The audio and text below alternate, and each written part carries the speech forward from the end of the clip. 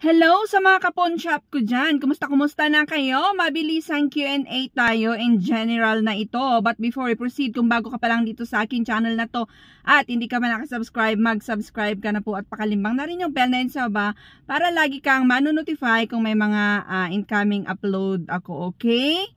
Ayan, so uh, dumalaw ako sa pawn shop para tanungin ang inyong katanungan in general na ito kung naisasanla ba, pwede bang isanla ang hikaw na walang pares? Ayan, so ganito, ayan, meron akong hikaw. Ayan, sayang naman ito, napakaganda namang hikaw ko na ito.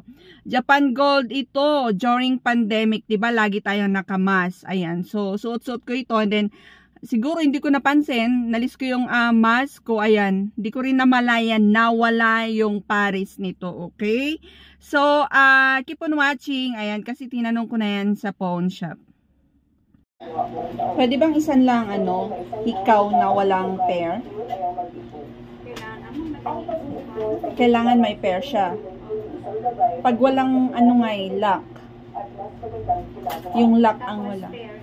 Oo, pair siya pero yung isa lang is walang lock, pwede. Pwede 'yon. Ang ano lang is yung as in yung ganito lang. Pag one piece lang ano? Ah, okay. Pero ah, ina-accept niyo hindi? Hindi. Ah, okay. May tatanong. Ayun, so abangan niyo yung Sanla update natin. Uy. Ah, ayun na nga, sabi ni staff, sa Cebuana yung pinuntan ko na yon and I think uh, lahat ng pawn shop na it's like parang common sense na, no? So, hindi pwedeng isanla yung hikaw na walang pares.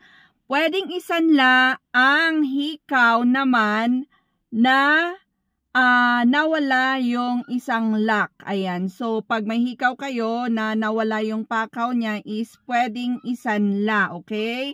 At least, pair sila. At least may pair. Yung lock, pag nawala, pwedeng isanla daw. Kasi at least siguro pag, pag hindi tinubos sa kanila, uh, madaling gawan ng uh, paraan. Pwede silang bumili lang ng lock or pwede na lang palitan ng uh, silicone, yung mga ganon. Kasi pag pares, ba, pag yung pair ng isang hikaw mo, parang mahirap na paano nila i-dispose, di po ba? Ayun. So, malinaw, malinaw, hindi pwedeng isanla ang hikaw na walang pares.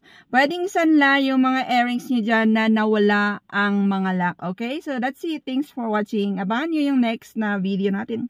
Bye-bye!